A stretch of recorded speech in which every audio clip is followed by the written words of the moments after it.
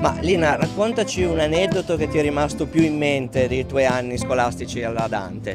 Allora, eh, io intanto ho, fatto, eh, ho frequentato la Dante negli anni 75, 76, quindi eh, spesso avevamo anche come supplenti degli insegnanti che avevano fatto anche il 68. Ah, e un aneddoto particolare, una volta ci è capitata un insegnante che eh, ci ha fatto fare una cosa estremamente trasgressiva per l'epoca.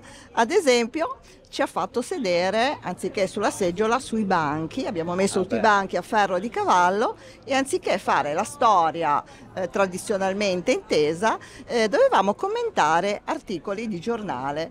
beh, quindi è un e quindi era una cosa abbastanza innovativa, rivoluzionaria, rivoluzionaria per Bene, ti l'epoca. ringraziamo per la tua testimonianza Ok. e buona continuazione. Grazie, chiaramente. grazie, that's it.